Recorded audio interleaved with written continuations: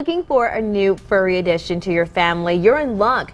There are a slew of adoption events going on this summer. To tell us more about pets available for adoption and different programs, Cynthia Jones and Brennan Jones, your son from Paws for Life yes. in Utah. Thank you both for being here. Again, thank you for having us. And we love coming on. We've enlisted Brennan. He's out of school, but he's not off of work. No, no, political prisoner, as we call them. okay, so we have uh, two animals to show. Mm -hmm. This little guy was falling asleep. Hi, baby. He's a little sleepy, yes. Aww. The excitement's gotten the best of him.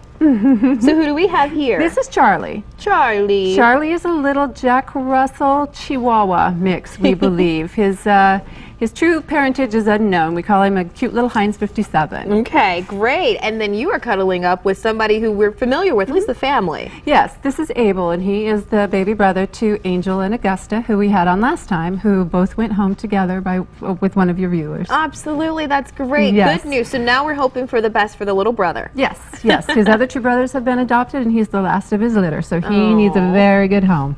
Well, tell us about right now. What are you seeing here in Utah with um, different dogs and kittens that are coming in? Well, uh, spring is always the season for babies, of course, and uh, puppies. We get a, we get a few of them.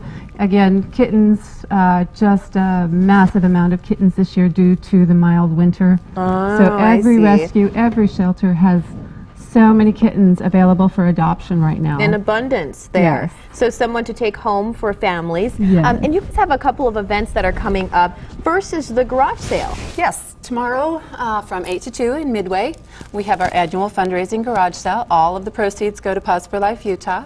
So we want to invite everybody to come to that. There's going to be many, many items. We've oh, got good. big pieces of furniture mm -hmm. that were donated and uh, just a lot of really great items for sale. And, and those proceeds go right back to the animals, to the foster home? Every single dime of it. Yep, goes to our goes to the organization.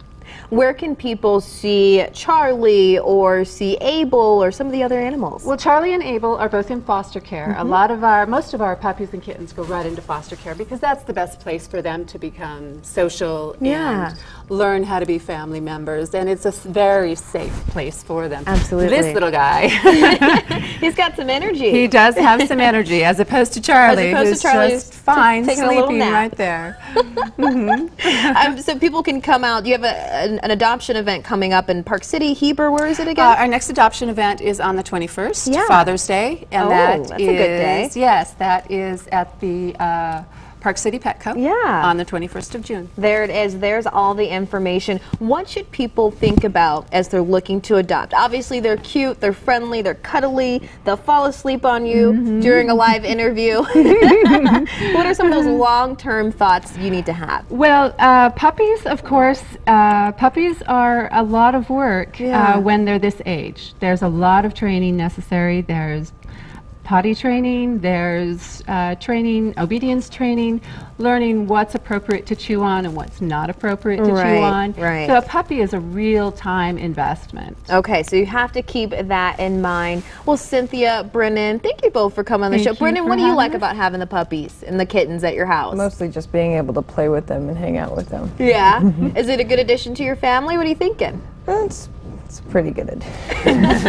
so are you a cat lover, dog lover, or both? Pretty equal. Pretty equal. Mm -hmm. Awesome. Well, thank you. We'll put all the information on our website at goodforutah.com. So